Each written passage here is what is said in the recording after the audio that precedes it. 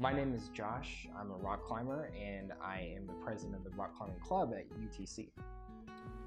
I started rock climbing, it was through my learning and living community. It was called WILD, it stood for Wilderness Instructor Leadership, and something I don't remember, but they took us for a climb night one night to climb, to try out bouldering and rock climbing, and I fell in love with it ever since that day.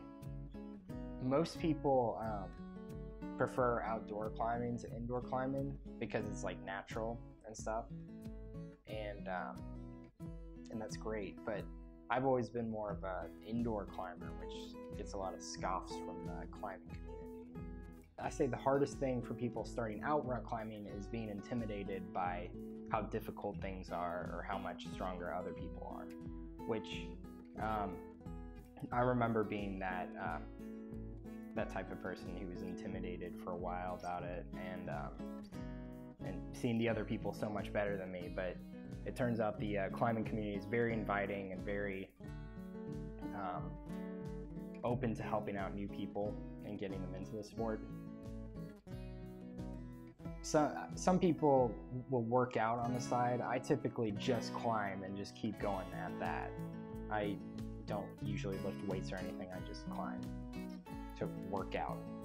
I always saw it as kind of a fun alternate to working out because I've never been like a lifting weights type of guy, I've been more of a kind of make it an adventure type.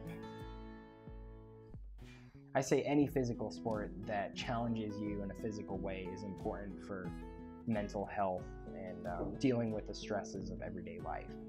Um, I know my mental health would severely decline if it wasn't for like these activities that help me take my mind off of things like that. There's no better feeling than achieving your problem or route after climbing the same thing and messing up after a month or a couple weeks or so. And when you finally get it, there's no better feeling than holding on to the finish and letting go and knowing that it's over. You, you just completed your goal.